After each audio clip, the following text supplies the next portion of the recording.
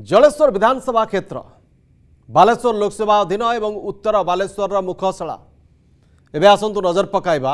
ବିଗତ ତିନିଟି ନିର୍ବାଚନରେ କ'ଣ ରହିଥିଲା ଏଠାକାର ରେଜଲ୍ଟ ଦୁଇହଜାର ନଅର ଇତିହାସ ଯଦି ଦେଖିବା କଂଗ୍ରେସ ପ୍ରାର୍ଥୀ ଦେବୀ ପ୍ରସନ୍ନ ଚାନ୍ଦଙ୍କୁ ମିଳିଥିଲା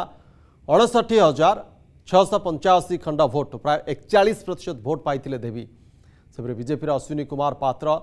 तेपन हजार तीन सौ एकाशी खंड अर्थात प्राय सैंतीस प्रतिशत भोटर का समर्थन पाई स्वाधीन प्रार्थी भाव गौर गोपाल दास को मिलता कोड़े हजार दुईश एकावन खंड भोट तर भोट प्रतिशत था चौदह प्रतिशत दुई हजार चौदह विजेडर अश्विनी कुमार पात्र छयाशी हजार चौराशी खंड अर्थात प्राय बावन प्रतिशत भोट पाई कंग्रेस देवी चांद बावन हजार दुईश चबीस खंड अर्थात बतीस प्रतिशत भोट पाई बेले बीजेपी अरुण कुमार बेज को मिलता तेरह हजार चार शि खंड भोट अर्थात आठ प्रतिशत भोटर को निज सपक्ष समर्थ हो पारी अरुण दुई हजार उन्नीस अश्विनी कुमार पात्र पंचाशी हजार चार पंचतीस खंड भोट सहित पखापाखि अठचा प्रतिशत भोट पाई आजेपी टिकेट लड़ी जयनारायण महांती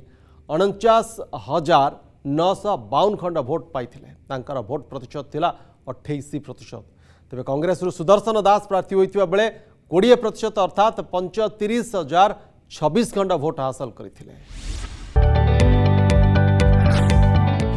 जदि आपण को आम भिडी भल लगा तेब आम चेल्क लाइक सेयार और सब्सक्राइब करने को जमा भी बुलां नहीं